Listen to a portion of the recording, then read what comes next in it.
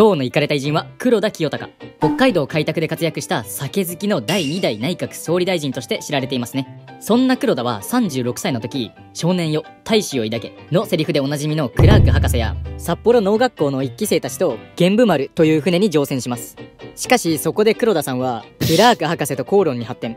ついでに酒を飲んで酔っ払っていた黒田さんは、憂さ晴らしをするかのように、陸めがけて大砲をぶっ放したのです。しかもその大砲がなんと民家に直撃してしまう始末。そして民家に住んでいた娘を殺してしまったのです。金や謝罪で済む問題ではありません。が、しかし示談金を支払うことでこの一件を収めました。ちなみにこの事件の後も酒絡みの事件を引き起こしています。皆さん、大砲は自分の家か、ムカつく上司のデスクに向けてぶっ放しましょう。ではまた。